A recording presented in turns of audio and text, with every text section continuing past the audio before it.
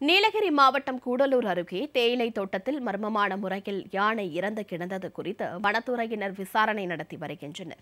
கூடலூரில் மூன்று நாட்களில் இரண்டு யானைகள் உயிரிழந்த சம்பவம் இயற்கை ஆர்வலர்கள் மத்தியில் அதிர்ச்சியை ஏற்படுத்தியுள்ளது. கூடலூர் அருகே பொன்னம்பலம் சேலா குன்னூர் பகுதியில் உள்ள மத்தை என்பவருக்கு சொந்தமான தேயிலை தோட்டத்தில் ஒரு யானை இறந்து கிடப்பதாக வனத்துறையினருக்கு தகவல் கிடைத்தது. இதையடுத்து வனத்துறையினர் நேரில் சென்று விசாரணை மேற்கொண்டனர்.